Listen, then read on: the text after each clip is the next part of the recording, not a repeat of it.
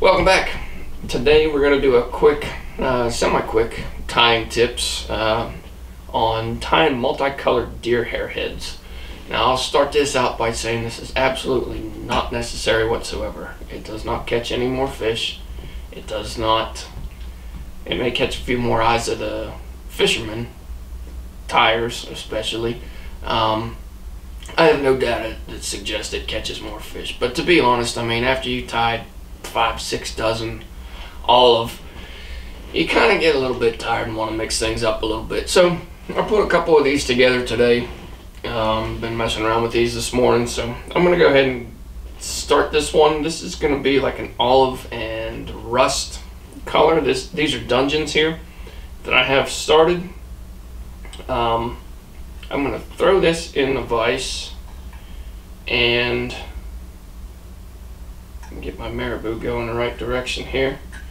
And like I said, I'm going to do this in a rust and an olive today. Um, just something to change it up. I really like this color combination. I don't really give it its due. Um, I don't really fish it as much as I should. Bass guys especially would love this. Um, trout, obviously, I mean, you're going to do well on trout with this as well. But this, I think this color would be a really great bass combo. But without any more rambling, we'll go ahead and get started here.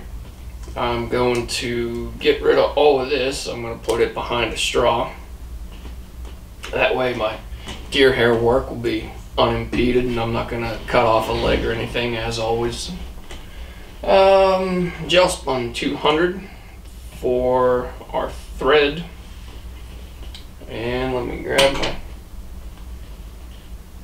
scissors here. There we go. Alright. So in order to do this, I mean, you can, th there's a bunch of different ways that you can go about this.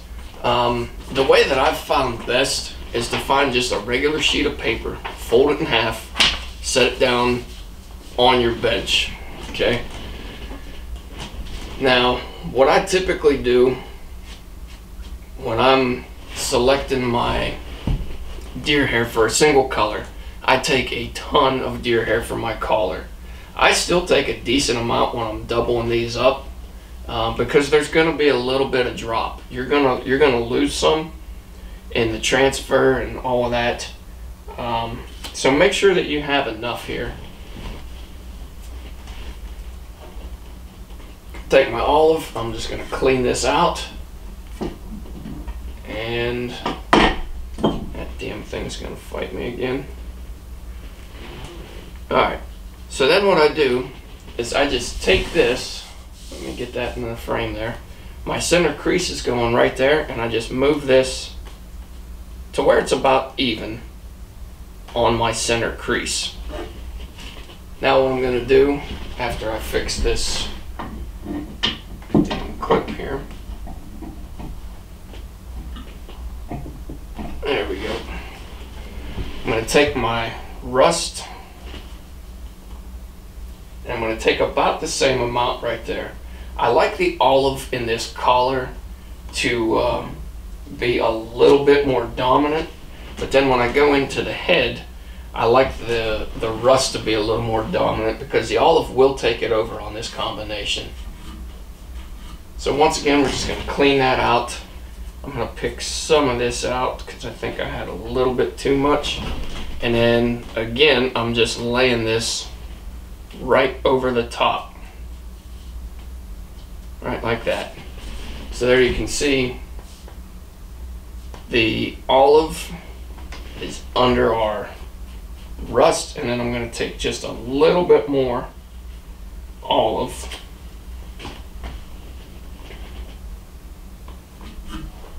clean that out like I said this is just a very little bit right there and I'm going to lay that back over now that it's sitting like that, all I'm going to do is take my paper and fold it over and I have a nice mixture of colors right there. If you want to, you can take and brush through that, um, really mix things up a little bit.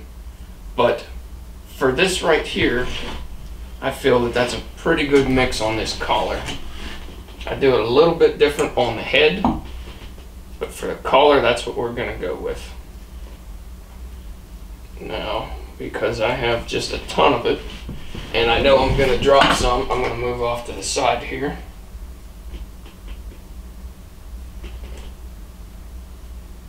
There we go. We're working with a bunch of this.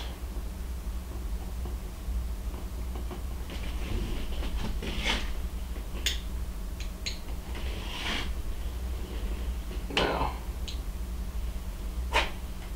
get that all stacked up and clean.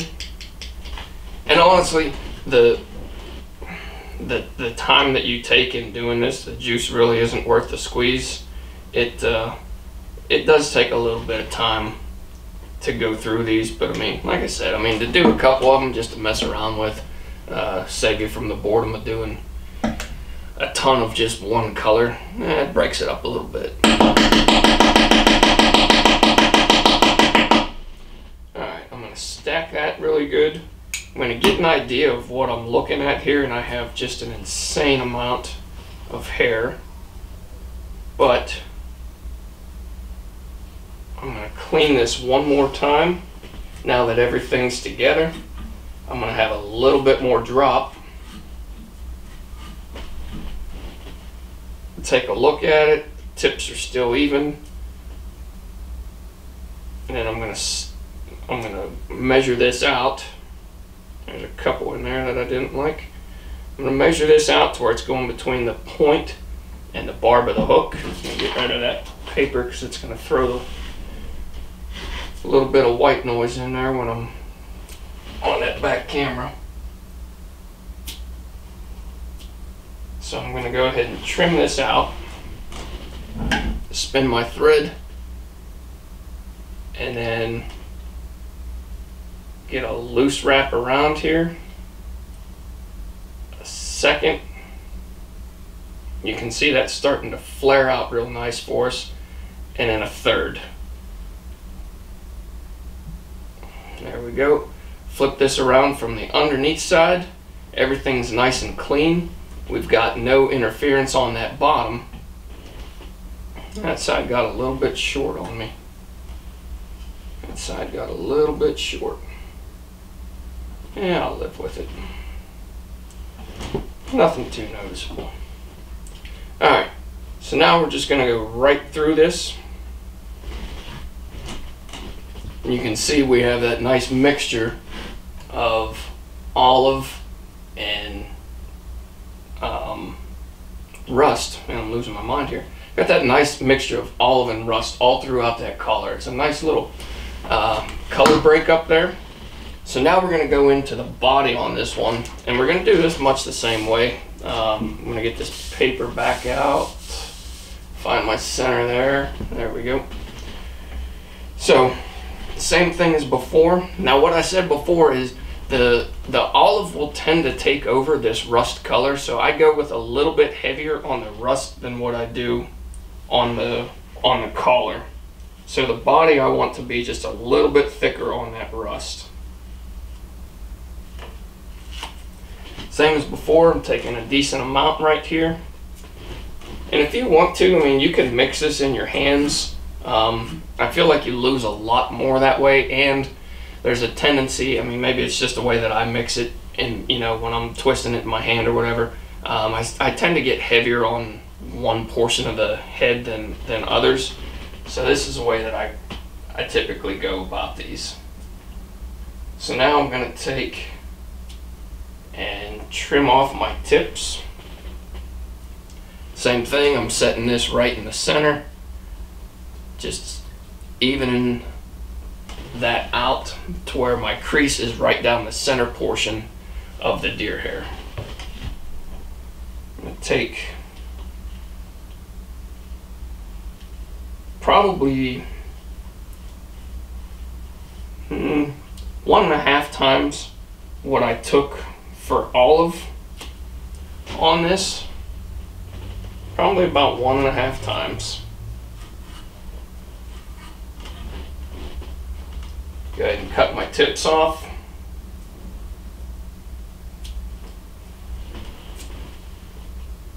even that up as best as I can.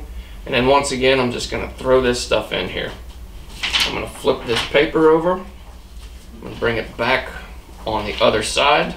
That's starting to get me a pretty good mix, pretty good color contrast for what I'm after. And then I just kind of flip this around in a little, I just kind of toss this stuff around, try and mix my colors up as best as I can. It's easier to do this when it's on the paper because I can keep everything nice and even for the most part. And um, I'm not transferring it through my hand trying to make a ton of different, um, you know, get my color just absolutely right. So what I'm going to do now is I'm going to gonna pick out a stack here. This is looking pretty good. This is going to be the back portion. This is going to be the uh, the top stack that we throw in right here, right behind the eyes. Just going to give that a couple of taps, make sure that it's a little easier to work with.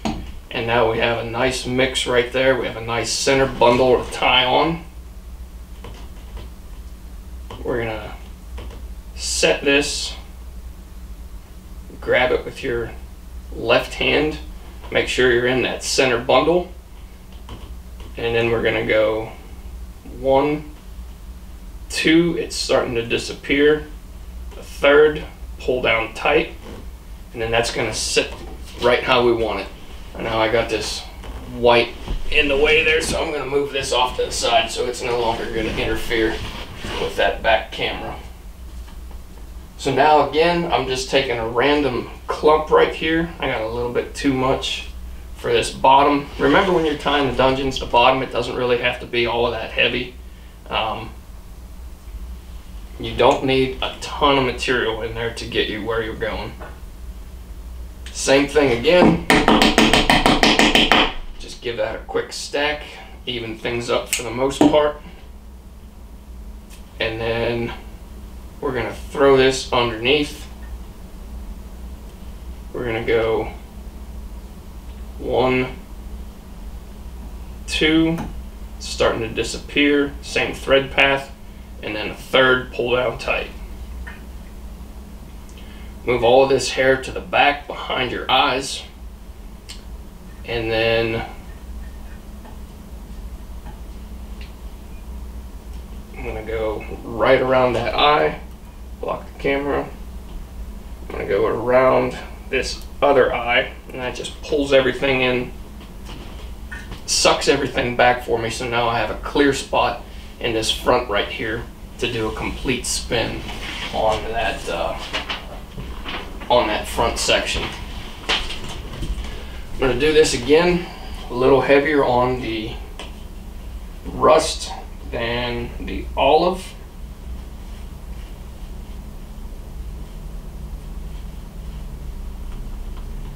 If I had thrown enough on there, I probably could have gotten everything done with just the just the first mix, but uh, I got a little bit short on my hair, so didn't quite have enough to do a good bundle there. So I'm going to just add a little bit extra here. I got rid of what was on there, now I'm going to put some extra on. Like I said, one and a half times for the rust is what you put down for the olive. Get this cleaned out again. And then we'll mix this up.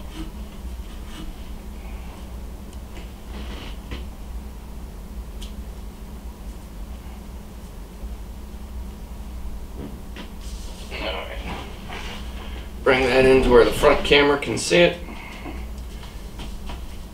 And then we're just flipping this over. I'm going one, I'm going two, that gives me my initial mix that I want. And then like just like before, I'm just gonna kind of roll this stuff around, mix it through as best as I can to where it's just completely random and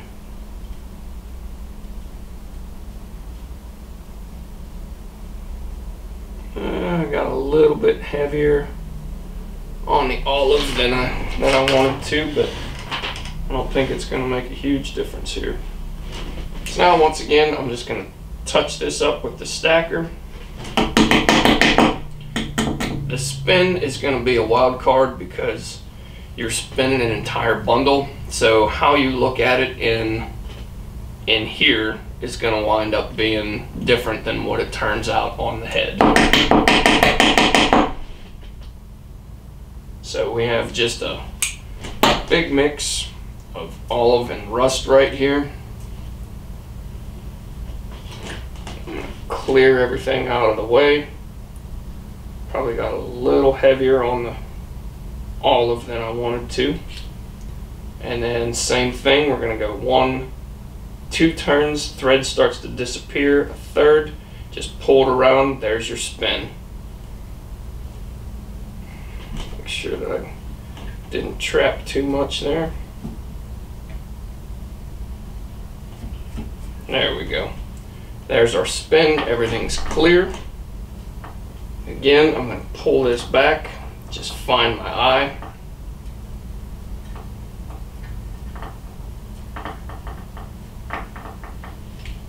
One, two, three.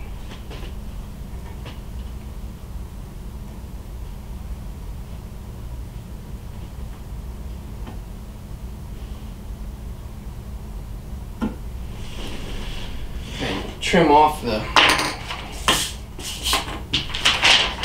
trim off the thread there. I'm going to get rid of that paper. Now, somewhere in here I've got a comb. I'll just take this one out for now. Just brush this out real nice. Get everything nice and fluffed out. Make sure I'm getting rid of any hair that may be sitting in there or any um,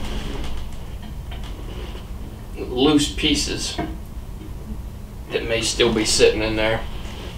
Do a pretty good job cleaning them out to begin with, so it doesn't really get a whole lot, but this just kind of fluffs everything out, makes it a little bit easier to trim. So now we're going to start on the bottom. I'm going to try not to block this and still trim it half decent.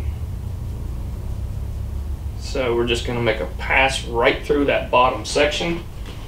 Got my straw here, move that up to where it's touching the deer hair. And then I'm just gonna take another swipe through this, clean everything up. Remember that bottom section's nice and flat. Now I'm just gonna feather this down because I want this I want this portion to not interfere with the body. I still want to be able to see the body on this one. So I'm just feathering that down to where it's out of the way. Everything's clear.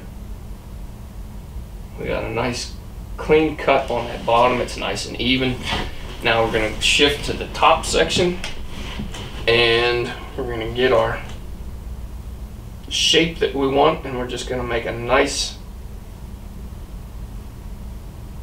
smooth cut right to the tips of our uh, right to the tips of our collar.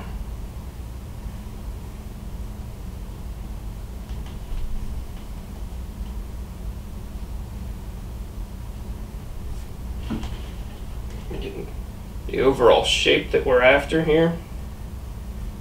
I'm just going to feather this through.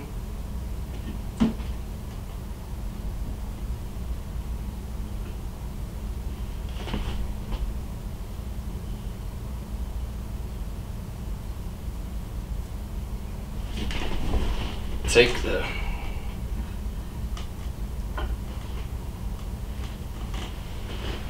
hook out of the vise here. I'm going to get this in the frame for the back and then this stuff right here I'm just going to take and trim the overall shape that I want.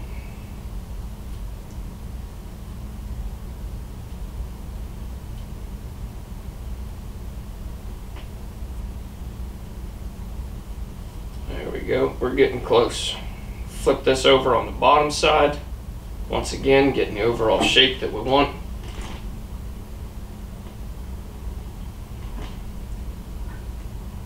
Get that so I don't stick myself.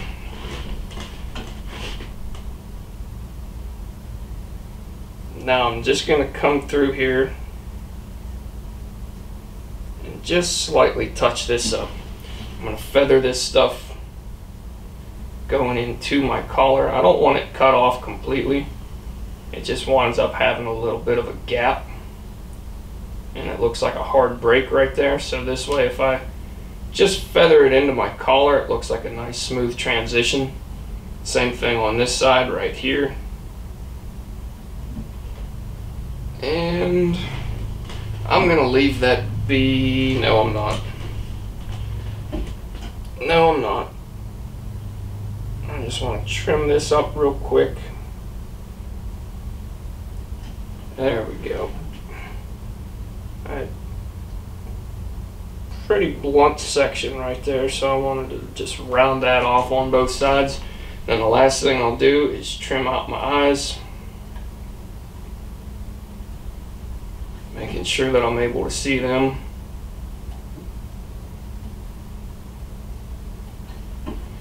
And we're going to peel off this straw. Get that out of the way. Bring all of our marabou back around here.